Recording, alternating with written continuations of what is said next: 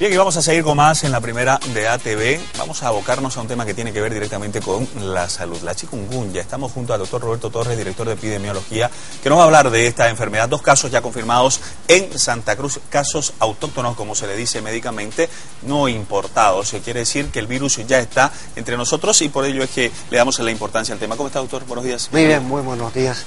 Bueno, el tema de la chikungunya es un tema que ya esperábamos, que de alguna manera iba a llegar, lo habíamos dicho, porque el factor de riesgo eh, del virus estaba circulando en Centroamérica, eh, tenemos el mosquito, y esa es la situación de casi todos los países en la zona tropical de Sudamérica y de Norteamérica, porque viene del, norte, digo, de la parte sur de Estados Unidos hasta el norte de Argentina, toda la zona allá de Egipto. Y como estaba ocurriendo esta epidemia en, Centroamérica, dijimos que iba a llegar porque es así, estas enfermedades llegan a una zona y se, se dispersan. Eh, por Centroamérica ya ha pasado un millón de, casos en, un año. Eh, Colombia eh, están estimando que hasta julio de este año van a tener tal vez 800 mil casos. Y, y, Venezuela lo mismo. Venezuela incluso ya le he puesto decir, es una fiebre alta ya no quieren ni hacer diagnóstico aparentemente. Pero llegó a Bolivia, llegó a Santa Cruz, son dos casos que, eh, de una familia que no han salido de, Santa Cruz, lo que está demostrando que el virus ya llegó de alguna manera y se va a quedar seguramente por muchos años y tal vez por siempre.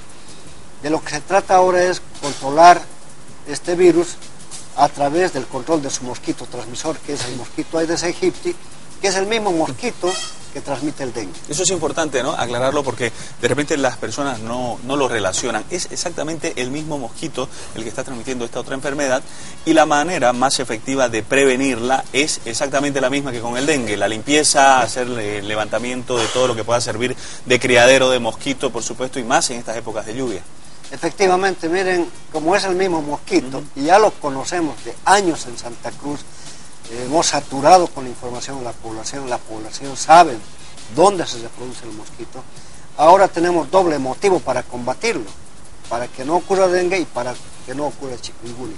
Por tanto, tenemos que hacer, yo digo, todos los fines de semana en, los hogares, hacer la limpieza, la higiene de los patios, canchones, jardines, para eliminar botellas, frascos, tachos, turriles, barriles, gomas en desuso. Todo aquello que acumula agua de lluvia es un criadero del mosquito. Por tanto, tenemos que deshacernos de estos recipientes para que no haya el dengue en nuestro hogar y la chikungunya ahora en nuestros hogares. ¿Es el mismo mosquito? ¿Los síntomas son los mismos?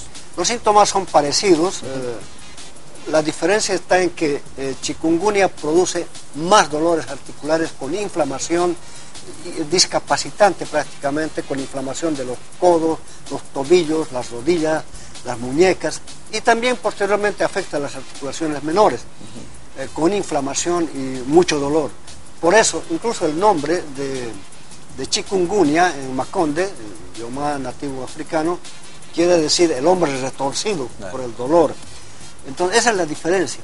En cambio, el dengue produce, eh, digo, sí, el dengue produce eh, más complicaciones vasculares, más complicaciones de órganos y puede producir el shock por dengue y producir la muerte por, hemorragia masiva.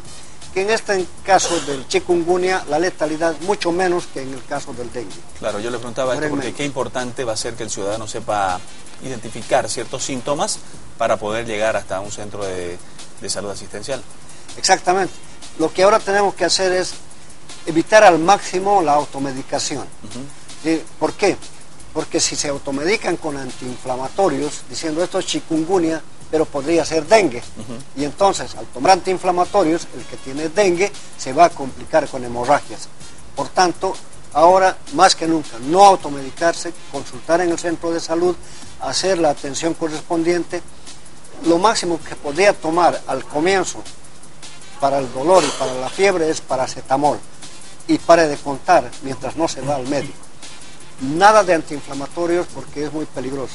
Una vez descartado ya el dengue y confirmado el chikungunya, entonces sí el médico va a indicar los antiinflamatorios para el caso de la inflamación por el, por el chikungunya. Ahora, eh, Es cierto, hay que tomar las medidas del caso, pero tampoco es para rasgarse las vestiduras. Las autoridades están comportándose a la altura de las circunstancias y eh, están manejando esto que ya es una realidad, eh, el virus entre nosotros. Claro, es una realidad y como dije, el virus ha venido a la América para quedarse.